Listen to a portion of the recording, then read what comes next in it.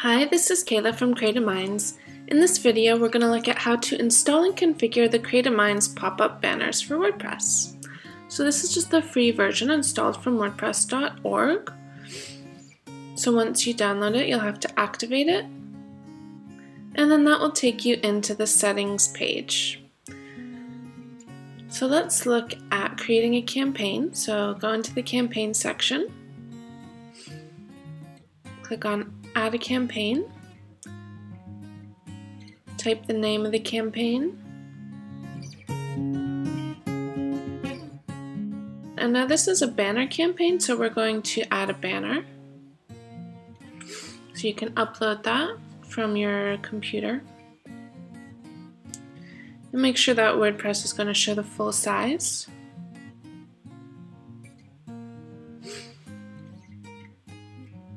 The banner now appears there. You can set the width and height of the banner. And then hit publish.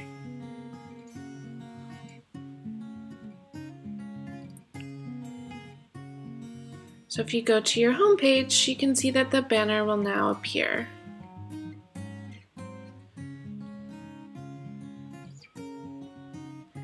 In the campaign, you're able to upload alternate banners and then the plugin will randomly select which one to show.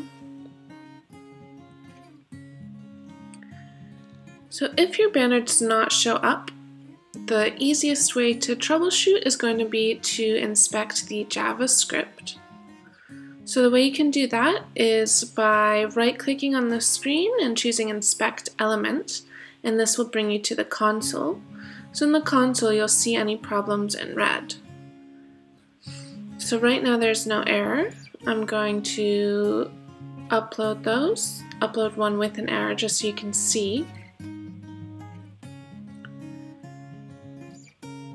So as you can see now there is an error. That one didn't stop the pop-up from coming up, but sometimes there can be. If there's an error with JavaScript, it tends to affect everything that's Java on the site.